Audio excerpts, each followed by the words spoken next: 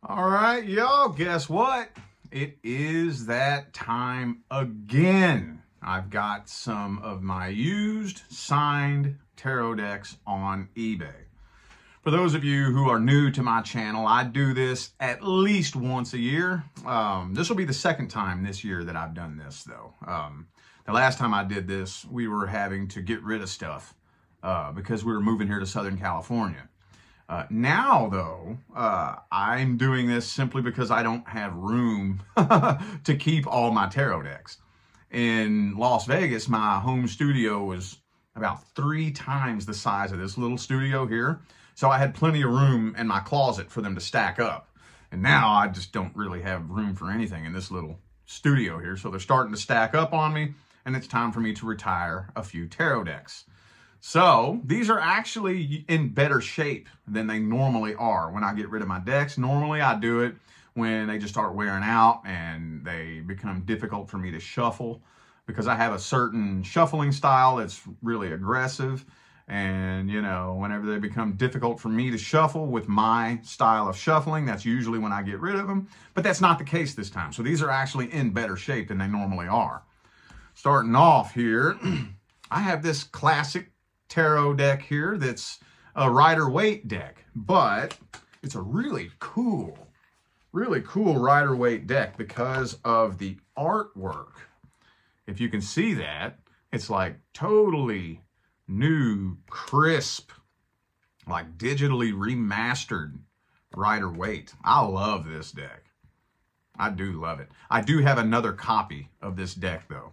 The only thing is it has a different design on the back. This one here is like the classic marble design on the back. I do have another copy with this exact same artwork with a different design on the back because I, I, love this one. You all know I am a avid Rider Waite fan.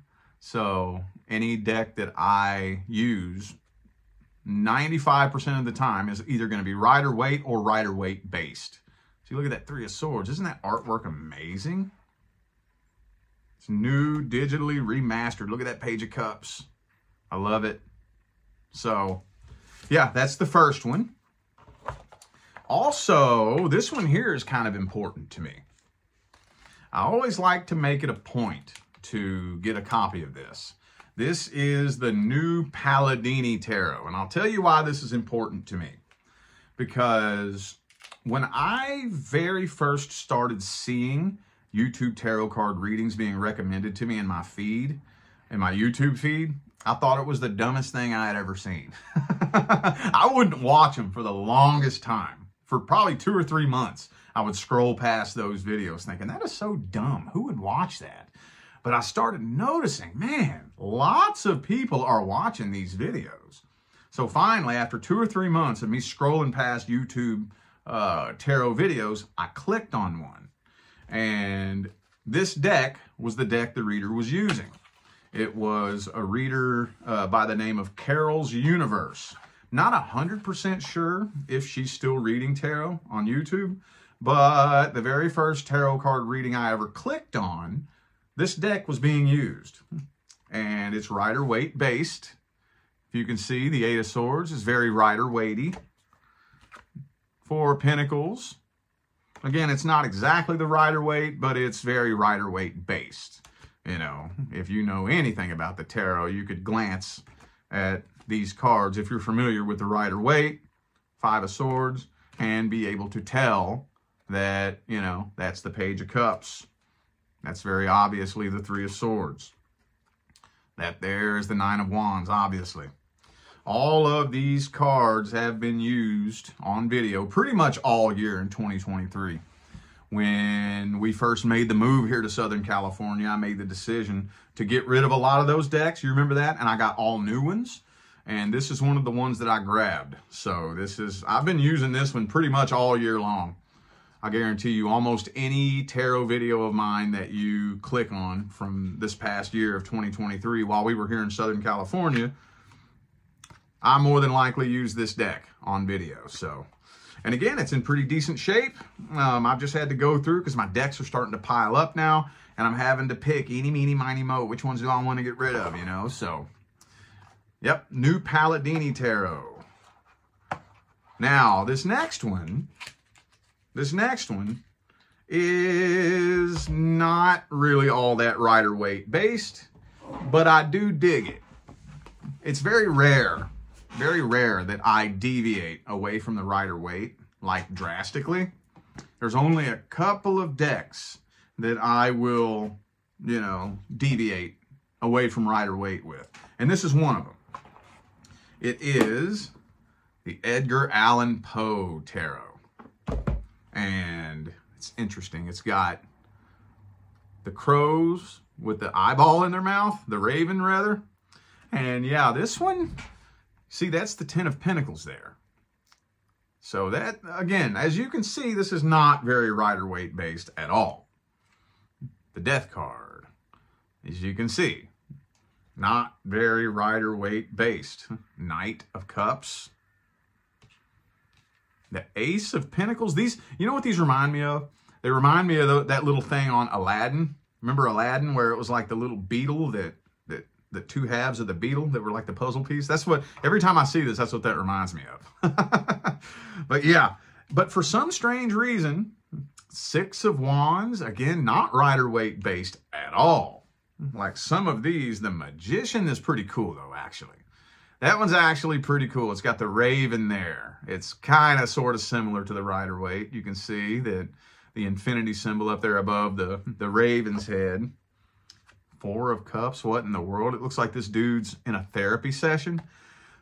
Normally, normally a deck that deviates this far away from the Rider Waite, I probably won't mess with it at all.